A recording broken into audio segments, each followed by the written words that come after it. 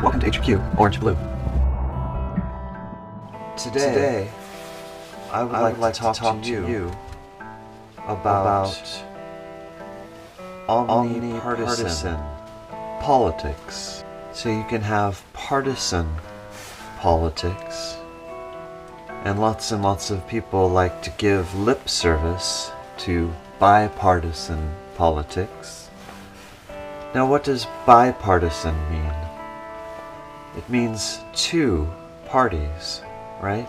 One party, a second party. If they work together, it's called bipartisanism. When they do not work together, it's called partisanism. Oh, Here in the US, our politics are controlled by the duopoly. The duopoly is the two controlling parties, the Democrats and the Republicans. Now often they are partisan in that they push back and forth and fight each other like two little boxers in a boxing match. Team Blue, Team Red, Team Blue, Team Red. Occasionally, they like to pretend to be bipartisan, where they sort of try to work together. Most of that is false lip service. But the much better, more progressive, and happier way to run politics in the US would be to be omnipartisan. Omnipartisan. Omnipartisan. Omnipartisan. How do we get to an omnipartisan politics? First off, we have to deal with the control of the two main parties. They like to pretend that they're always on opposite sides and fighting each other, except for occasionally when they try to, as they say, cross over or reach over the aisle. But the thing they always have in common, and the thing they're always willing to work with each other on, is how to maintain the duopoly. Because ultimately, that's the most important thing to the two controlling parties. Leaders of the Democrats and leaders of the Republicans want to maintain a status quo because it keeps them in power.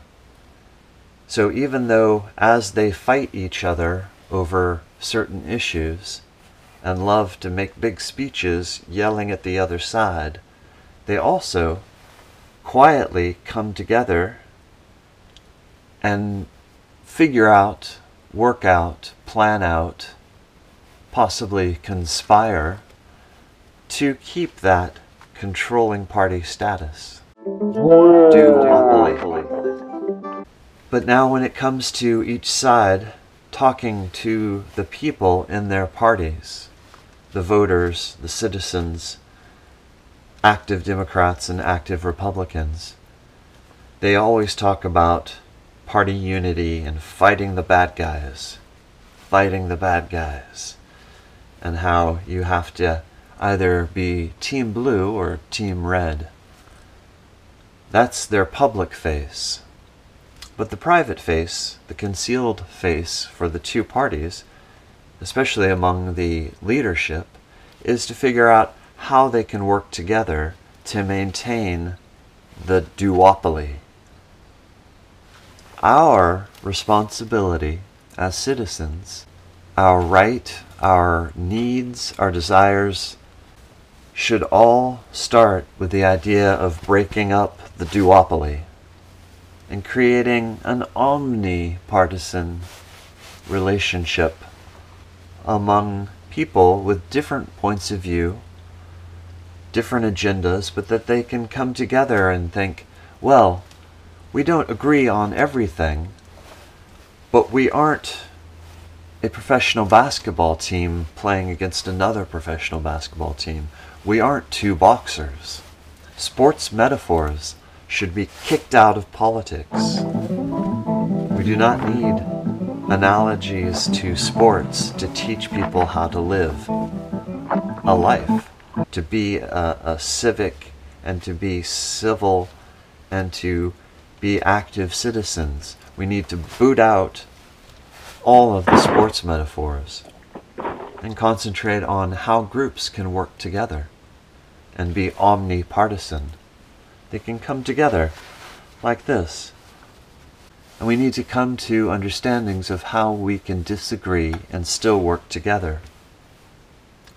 But it will be nearly impossible to work together and to achieve that greater level of civility and an interest in being good citizens, it'll be nearly impossible to achieve that until we get rid of the duopoly,